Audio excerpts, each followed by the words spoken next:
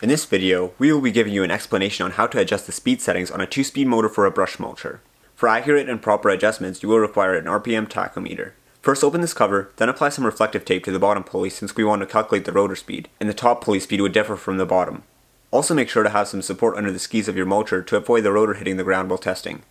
The ideal setting for the high speed would be 1800 to 2000 RPM, and the ideal setting for the low speed would be 1100 to 1300 RPM. Keep in mind that there should be around a 700 RPM difference between the high and low setting. These are the speed adjuster screws. To adjust the low speed, loosen this nut and turn this nut. And to adjust the high speed, loosen this nut and turn this screw. Turning the screws in will increase the speed, and turning the screws out will decrease the speed. Keep in mind that when you're adjusting the low speed adjuster screw, that the high speed adjuster screw will turn with, so this screw will need to be reset if you are only adjusting the low speed. Generally when you need to do a speed adjustment though, both speeds will need to be adjusted. So the rule of thumb is to adjust only the low speed, and then turn the high speed back half the amount of turns. This way both the high speed and low speed will be adjusted while keeping a 700 RPM difference between the speed.